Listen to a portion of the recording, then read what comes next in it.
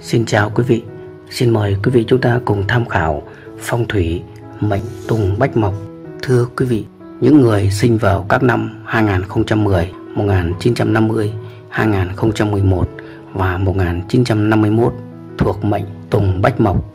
Tuy nhiên, để hiểu ý nghĩa bản chất của mệnh này cũng như các vấn đề liên quan đến mệnh Tùng Bách Mộc như mệnh Tùng Bách Mộc hợp với mệnh nào, mệnh Tùng Bách Mộc hợp với tuổi nào và mệnh Tùng Bách Mộc hợp với màu nào để cho cuộc sống thu hút những sự may mắn, tài vận hanh thông thì xin mời quý vị chúng ta cùng tham khảo từng phần chi tiết cụ thể.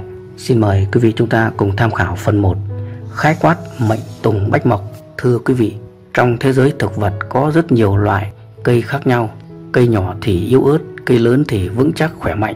Còn Tùng Bách Mộc lại là một loại cây tùng to lớn và khỏe mạnh Giống như vẻ ngoài của người anh hùng. Giúp ích rất nhiều cho người khác. Khí chất của cây tùng rất mạnh mẽ, hùng hồn Thể hiện cho một ý chí quyết tâm cao. Những người thuộc mệnh Tùng Bách Mộc sinh vào năm canh dần 2010 1950 và năm Tân Mão 2011 1951 họ là người có ý chí vươn lên để tồn tại không khuất phục trước khó khăn là người sống tình cảm và luôn yêu thương những người xung quanh. Tùng Bách Mộc chỉ những người uyên bác có nghị lực, trọng tình nghĩa, nên họ có đủ phẩm chất của người tri thức thực thụ, tính cách lẫm liệt. Xin mời quý vị chúng ta cùng tham khảo phần 2 đặc điểm phong thủy mệnh Tùng Bách Mộc. Mệnh Tùng Bách Mộc là mệnh nằm trong ngũ hành mộc, vậy nên sẽ mang một số tính chất đặc điểm của ngũ hành mộc. Xin mời quý vị chúng ta cùng tham khảo phần A, mệnh tùng bách mộc hợp mệnh nào? Thưa quý vị, việc kết hợp đúng mệnh tương hợp với mệnh tùng bách mộc sẽ tạo nên sự thuận lợi trong công việc làm ăn cũng như mang đến sự hạnh phúc may mắn của một gia đình cho những người thuộc mệnh này.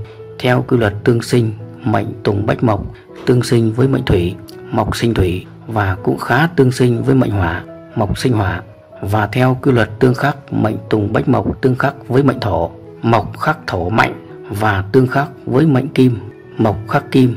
Tuy là mệnh tùng bách mộc, mệnh mộc là phải được trồng ở dưới đất sẽ được đất nuôi dưỡng nhưng với mệnh tùng bách mộc thì lại khắc thổ mạnh.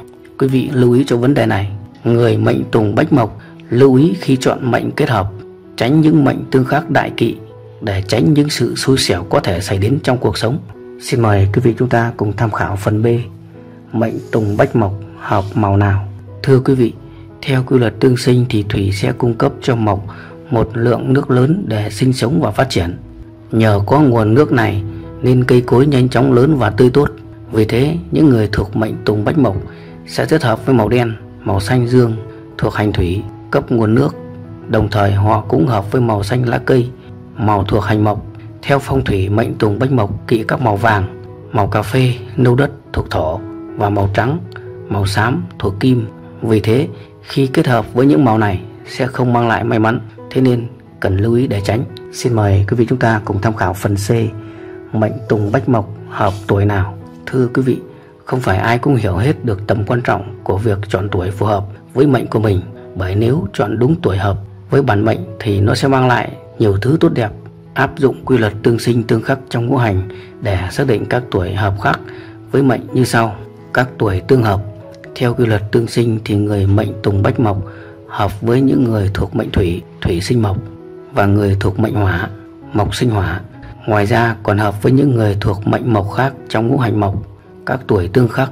Theo quy luật tương khắc thì người mệnh tùng bách mộc, xung khắc với những người thuộc mệnh thổ, mộc khắc thổ. Quý vị lưu ý rằng mệnh tùng bách mộc khắc thổ, mộc khắc thổ và khác với người mệnh kim kim khắc mộc. Đây là những tuổi mà người mệnh tùng bách mộc phải tránh kết hợp. Xin chúc quý vị sức khỏe và gặp nhiều may mắn.